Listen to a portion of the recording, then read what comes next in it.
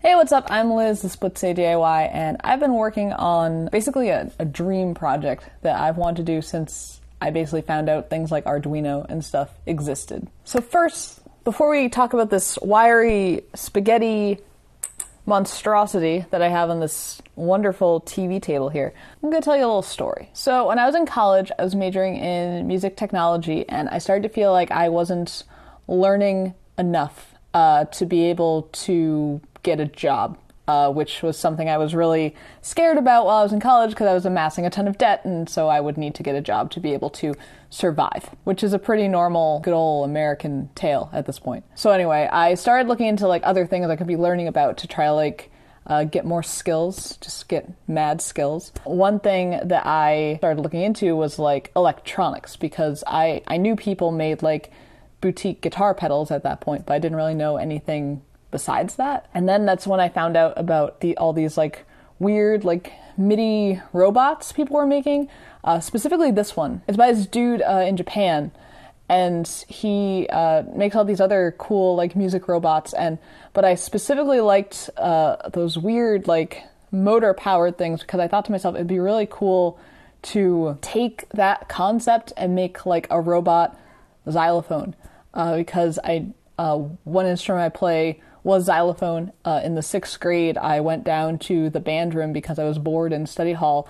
I didn't play any band instruments at that point. I only played piano, and I went up to the band director and like said that, and he said, "Oh, play the xylophone. It's a piano with sticks." But there's a lot of percussionists that would probably be offended by that analogy. But uh, to a sixth grader, like to get the job done, and I'm sure as a junior high band director in uh, my school district, just trying to get through every day, like yeah, that is that is what it is. And so.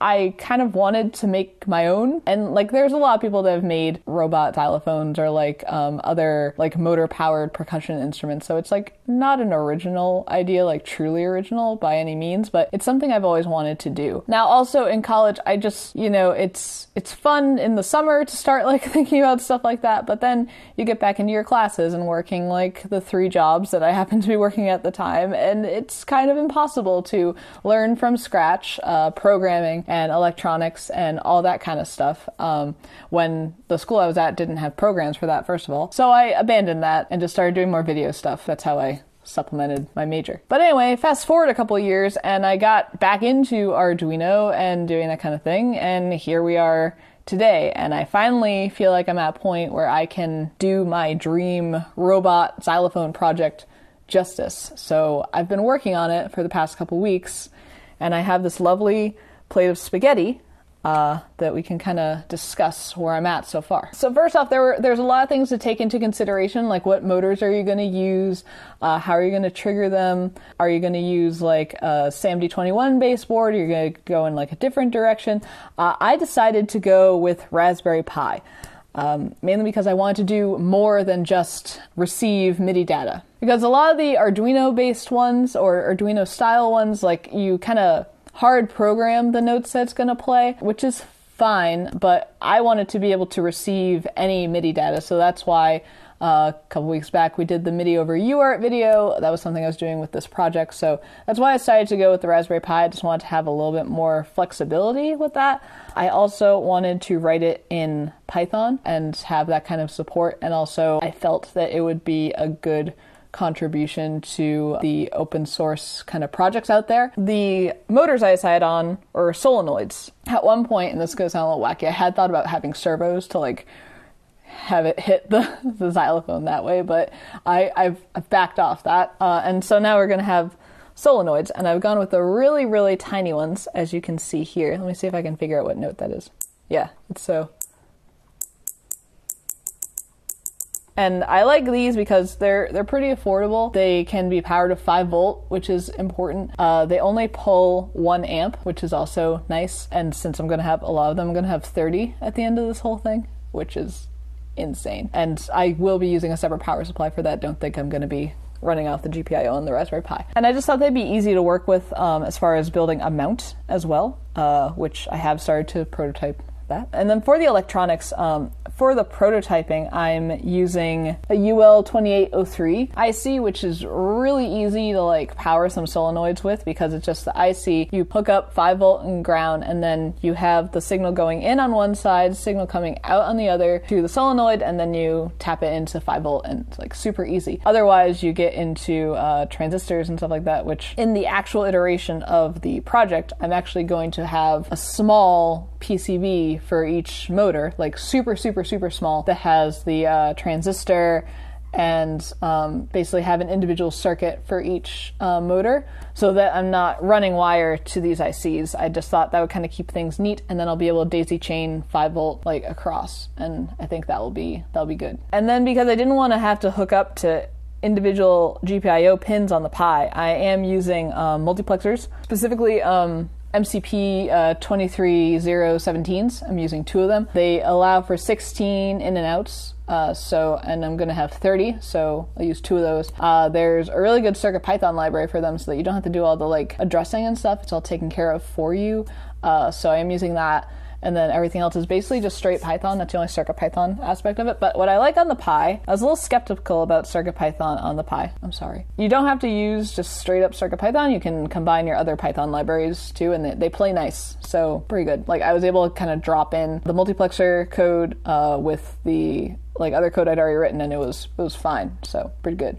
And the way that I've prototyped this is like I kind of started off by just like basically doing like a, a, blink sketch with one solenoid, making sure I could get it to go up and down over and over again. Then I added in like two solenoids to do that and like alternate. And then I made sure I was reading MIDI data and I showed that um, uh, that piece of code uh, in my MIDI over UART video, and that'll be on the GitHub repo if you want to take a look at that. And then I tried um, triggering the solenoid with like one MIDI input uh, and just kind of grew it out from there. And by doing that, like it made programming it like really easy because I wasn't trying to like attack everything at once. Like I didn't start off by like throwing in the multiplexer code and everything like that. Like I was using individual GPIO pins at first. And then once I knew that was all set with MIDI, then I went to the multiplexer and then here we are. And then after I got one multiplexer, I added in the second one. And that's why I have these two motors off to the side here. They're running on the second multiplexer just so I can test it. So that's the second multiplexer, but you can see like they're they're working together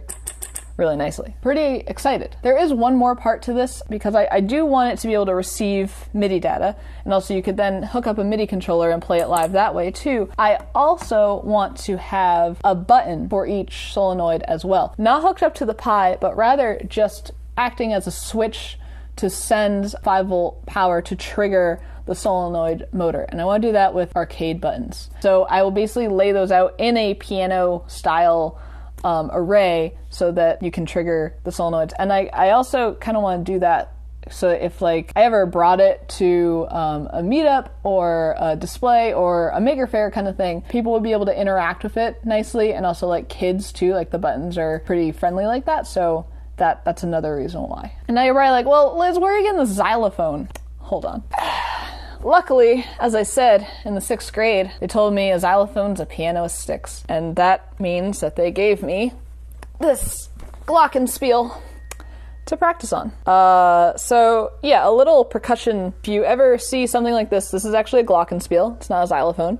Uh, glockenspiels are small scale uh, and use metal keys. Uh, so this one has 30, 30 notes. Um, and also, it has mounts so that if you were in the marching band, like you could wear it as a harness. I never did that, uh, but you, you could if you wanted to. So basically, I'm going to be mounting the solenoids so that they sit just over these keys, and they'll be able to strike them. Because of the nature of glockenspiels, the mallets you would traditionally use are, would either be acrylic or um, a metal uh, ball. And so the solenoids are actually perfect because they're a similar metal um, to what you would find on those. And that will give this really nice, crisp tone, uh, which I'm really excited about. It's hard to trigger the uh, Glockenspiel right now with a motor just because they have such a short thing and we'll talk about this plastic bit in just one second but i've been able to balance and and it, it's really nice it's really nice so i'm it's it's going to be nice and crisp and really good. They're also in the mallet family. Uh, there's the xylophone, which is kind of the catch-all term. Uh, that's traditionally made out of a, a hard wood. Actually, if you see those thick planks, even though they're black, it's actually like a hard tonal wood. There's also the marimba. That's more of a softer wood. You would use yarn-covered mallets with that because otherwise you'd, you'd totally destroy the bars. And that wood is also usually an endangered wood, unfortunately, uh, which isn't too great for the environment. That's also why they're like insanely expensive. And then there's also uh, a vibraphone. Vibraphone is what you have probably heard in jazz music uh, that has a sustain pedal on it that you can pump similar to on a piano sustain to get those nice ringing tones. A vibraphone is probably most similar uh, to a glockenspiel as far as the metal bars go, but you can you use uh, yarn mallets, acrylic mallets. Uh, you don't usually use a metal uh, based mallet, usually yarn or acrylic, depending on the tone that you're going for. My favorite to play is the marimba using yarn mallets. Like that is like my happy place. But and also the bars are so big, you can get some really nice rolls going and really do some unique things with the music. But I mean, where am I gonna go play a marimba? I'm, I'm not. So for now, I'll have to I'll have to do with the the robot xylophone. So the mount that I'm working with right now, let me unplug these two motors from my spaghetti breadboard. Uh, so basically, I have these two mounts, uh, and so the uh, motor is able to sit nicely because I have basically two little kind of lips sticking out at the bottom and also on the side here so that it squishes it in.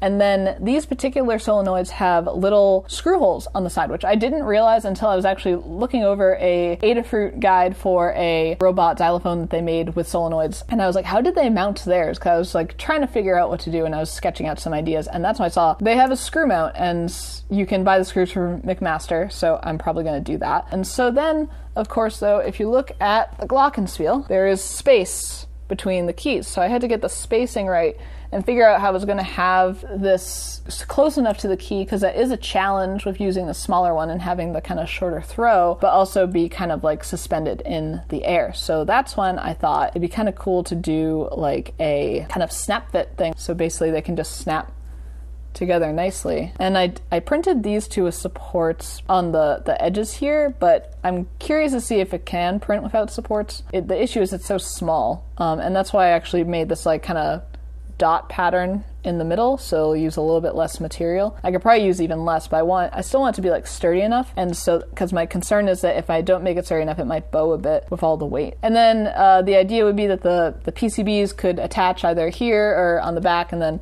the motor will be able to plug in, and then we'll also be able to have the circuit for the motor, and then just run some little wires to connect power and everything. So I think that will work out well, but we'll see. That's kind of like the next stage of like experimenting with this. But I'm excited that the snap fit is working. Like that's I think that's kind of cool. It's like Legos for motors. So that's kind of where I'm at with uh, what I think I'm going to call the XyloPi.